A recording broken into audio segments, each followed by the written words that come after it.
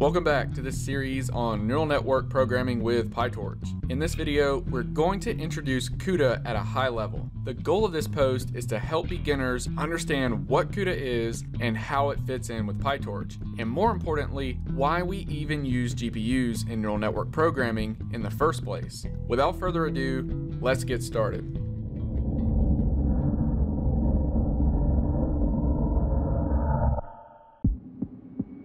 To understand CUDA, we need to have a working knowledge of graphics processing units, or GPUs. A GPU is a processor that is good at handling specialized computations. This is in contrast to a central processing unit, or CPU, which is a processor that is good at handling general computations. CPUs are the processors that power most of the typical computations on our electronic devices. A GPU can be much faster at computing than a CPU. However, this is not always the case. The speed of a GPU relative to a CPU depends on the type of computation being performed. The type of computation most suitable for a GPU is a computation that can be done in parallel. This brings us to parallel computing. Parallel computing is a type of computation whereby a particular computation is broken into independent, smaller computations that can be carried out simultaneously. The resulting computations are then recombined or synchronized to form the result of the original larger computation. The number of tasks that a larger computation can be broken into depends on the number of cores contained on a particular piece of hardware. Cores are the units that actually do the computation within a given processor, and CPUs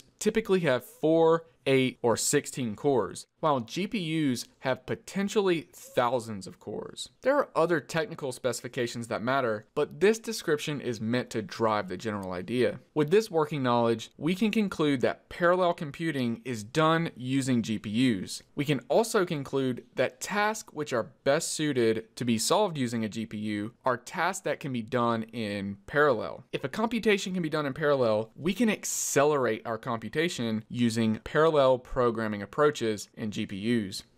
Let's turn our attention now to neural networks and see why GPUs are so heavily used in deep learning. We have just seen that GPUs are well suited for parallel computing, and this fact about GPUs is why deep learning uses them. Neural networks are embarrassingly parallel.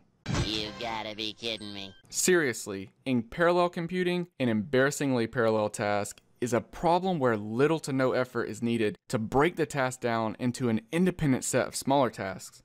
Neural networks are embarrassingly parallel, and GPUs typically have 3,000, like high-end GPUs have 3,000 cores that can run computations in parallel. Many of the computations we do in neural networks can indeed be easily broken into smaller computations that are independent with respect to one another. So it's the nature of computations used in neural networks that makes GPUs so useful in deep learning. Let's look at an example computation that's often used in deep learning, the convolution operation. This animation showcases the convolution process without numbers. We have an input channel in blue on the bottom, a convolutional filter shaded on top of the input channel that is sliding across the input channel, and a green output channel. For each position of the convolutional filter on top of the input channel, there's a corresponding green region on the output channel. This is the output of the convolution operation at each point. In the animation, these computations are happening sequentially, one after the other. However, each computation is independent from the others. This means that none of the computations depend on the results of any of the other computations. As a result, all of these independent computations can happen in parallel on a GPU, and the overall output channel can then be produced after all of the computations have been completed.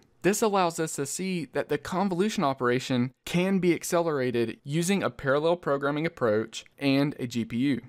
This is where CUDA comes into play.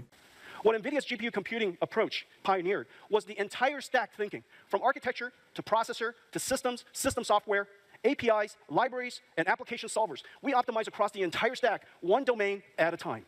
One domain at a time. And it is incredibly hard work. And that's one of the reasons why it's taken us almost 10 years. NVIDIA is a technology company that designs GPUs, and they have created CUDA as a software platform that pairs with their GPU hardware, making it easier for developers to build software that accelerates computations using the parallel processing power of NVIDIA GPUs. An NVIDIA GPU is the hardware that enables parallel computations, while CUDA is the software layer that provides an API for developers. Developers, developers, developers, developers, developers, developers. Developers, developers, developers, developers, developers, developers, developers, developers. Yes! As a result, you might have guessed that an NVIDIA GPU is required to use CUDA.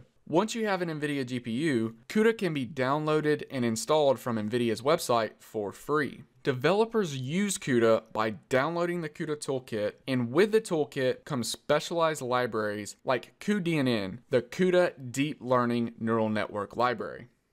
The stack, GPU computing, basically works in several ways. The first step, of course, is to build an amazing GPU. That's the first step. The first step is building the amazing GPU. The second step is to create the libraries for that domain the system software, the systems architecture, the APIs, and the libraries, accelerated libraries for that domain. And in the case of high performance computing, it's linear algebra, it's FFTs, it's all kinds of different types of libraries, and we have all of the libraries created. And now with deep learning, cuDNN, and with inference, TensorRT, the libraries are in place. The third step is to work with all of the application developers, the solvers, technical teams, work hand in hand to accelerate, to refactor their algorithms of their application and run it on our libraries. With PyTorch, CUDA comes baked in from the start. There are no additional downloads required. Yeah. All we need is to have a supported NVIDIA GPU and we can leverage CUDA using PyTorch. We don't need to know how to use the CUDA API directly. Now, if we wanted to work on the PyTorch core development team or write PyTorch extensions, it would definitely be useful to know how to use CUDA directly. Much of PyTorch is written in Python. However, at bottleneck points, PyTorch drops into C, C++, and CUDA to speed up processing and get that performance boost Yeah. We fight it in various ways. One of the simplest ways is we just move all of our functions to C, C or C++ that are actually important. Um, it's a subtle trade-off because uh, as users of PyTorch itself, you want to make sure it's very easy to debug and extend while you're working with it day to day. But if you want performance, then the biggest hotspots cannot be in Python. So the reason we went down Python, like instead of using C++ directly, why we went to use Python is because Python is the most popular data science language. But we have to make these constant trade-offs and fight Python all the time.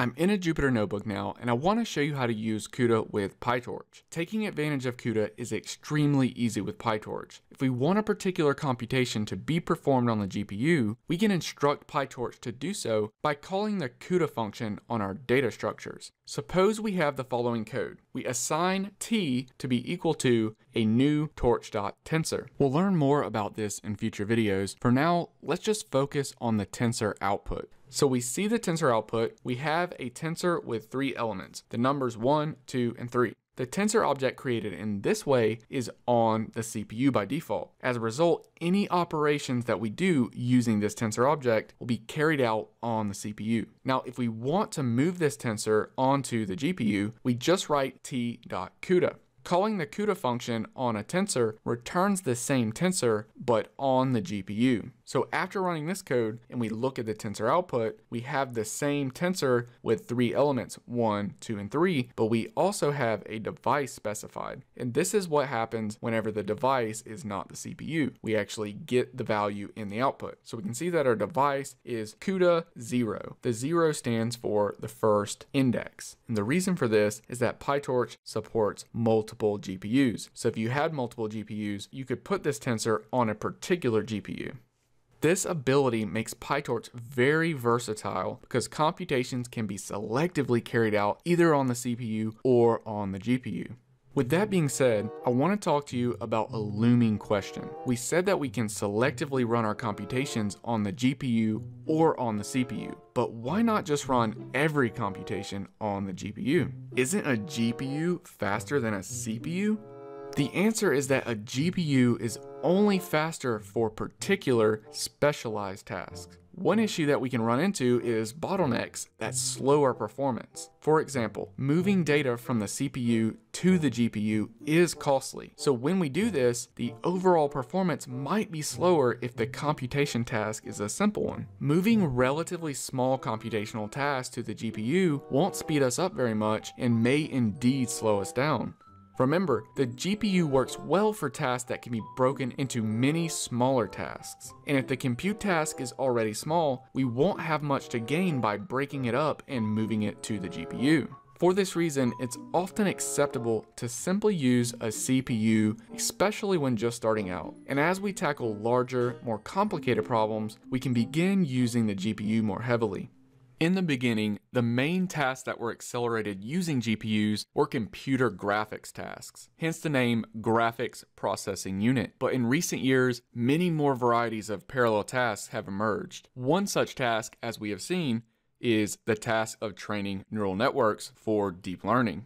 Deep learning, along with many other scientific computing tasks that use parallel programming techniques, are leading to a new type of programming model called GP-GPU, or General Purpose GPU Computing. NVIDIA has been a pioneer in this space. NVIDIA CEO Jensen Huang has envisioned GPU computing very early on, which is why CUDA was created nearly 10 years ago. Even though CUDA has been around for a long time, it's just now beginning to really take flight. And NVIDIA's work on CUDA up until now is why NVIDIA is leading the way in terms of GPU computing for deep learning.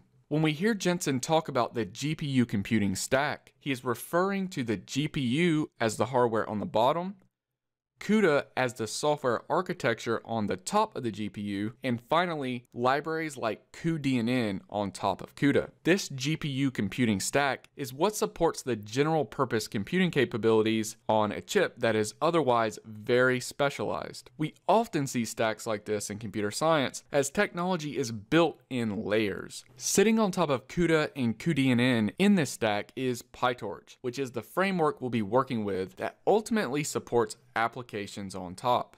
The paper I'm showing here takes a deep dive into GPU programming and CUDA, but it goes much deeper than we need. We will be working near the top of the stack here with PyTorch. However, it's beneficial to have a bird's eye view of just where we're operating within the overall stack. We are ready now to jump in with section 2 of this neural network programming series, which is all about tensors. Remember to check the blog for this video on deeplizard.com, and don't forget to check out the Deep Lizard Hive Mind for exclusive perks and rewards. Thanks for watching and supporting collective intelligence. I'll see you in the next one. Computing is the most important invention of humanity. It is the single most important tool that we have ever created. Over the last 25 years, the computer has advanced in performance 100,000 times. Scientists and researchers are at the brink of discovering solutions for precision medicine. They're at the brink of being able to solve weather prediction and understanding climate. We're at the brink of being able to discover the next groundbreaking material that's light and strong, or new ways of store energy. We're at the brink of discovering a way for machines to operate themselves. We're at the brink of discovering artificial intelligence.